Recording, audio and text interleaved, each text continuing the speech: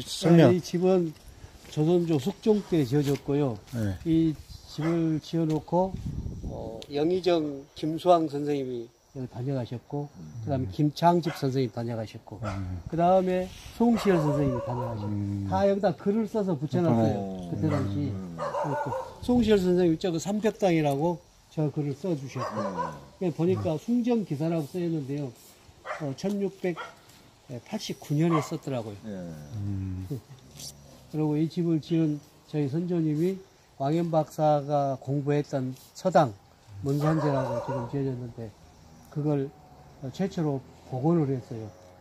1683년에 짓기 시작해갖고 84년에 완공을 했더만요. 갖고 영암, 강진, 해남, 자흥, 나주 다섯 개 군에서 공부를 했다 한 사람은 이 집을 거쳐가요. 이 서당에.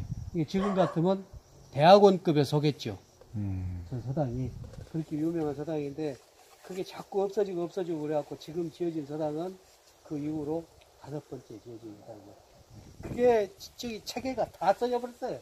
근데 와인 박사가 했다 공부했다는 그 글이 여기 있던 모양이죠? 그게 환여지 승남인가? 예. 거기에 보면은 그 충청도 분이 서울에서부터 전라도에까지 내려오면서 구전으로 내려온 전설 같은 네. 얘기를 전부 다 글로 썼더라고요.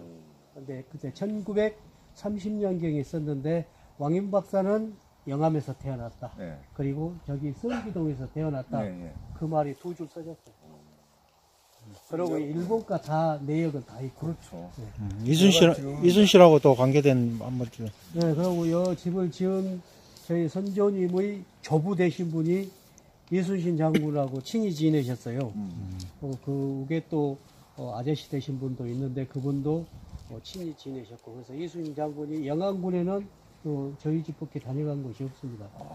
그래서 편지가 이순신 장군이 보내준 편지가 우리 현덕성 할아버지한테 세 통, 어. 우리 현관 할아버지한테 네 통, 일곱 통이 지금 이 중림정 안에 복사본입니다만 여기 이 액자에 넣어가지고 지금 걸어져 있어요.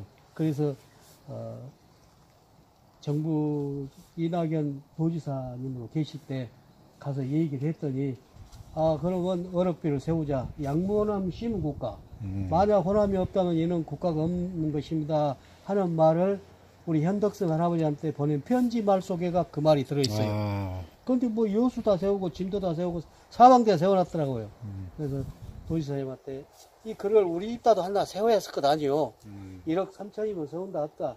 이렇게 하나 세워주시오 해서 아까 저 밖에가 세워진 게 아. 바로 그래서 세워지게 된 것이죠. 음. 그래갖고 어, 이낙연 국무총리님이 1월 20일 날 지난 1월 20일 날 멋있죠. 네, 저희 집에 다녀가시고 기념식 하시고 가라셨어요.